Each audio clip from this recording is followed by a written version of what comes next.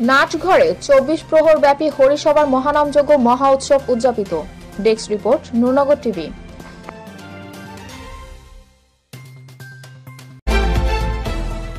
বিশ্ব শান্তি কল্পে চব্বিশ প্রহর ব্যাপী চোদ্দতম বার্ষিক মহানামযোগ্য মহা উৎসব ও শ্রী শ্রী তারক ব্রহ্ম হরিনাম মহাযজ্ঞ উৎসব শৈত প্রবাহের মধ্য দিয়ে গত উনিশ হতে একুশে ডিসেম্বর পর্যন্ত তিন ব্যাপী ব্রাহ্মণবাড়িয়া নবীনগর উপজেলার নাটঘর গ্রামের শিব মন্দির অঙ্গনে উদযাপিত হয়েছে।